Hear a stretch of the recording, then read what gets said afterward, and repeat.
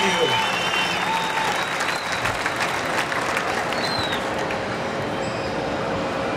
thank you very much. It is a great pleasure to uh, welcome each of you here to Seattle, Washington.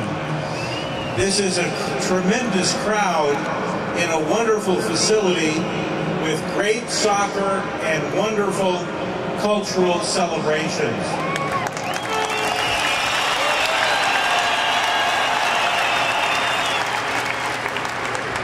Tena Distillin.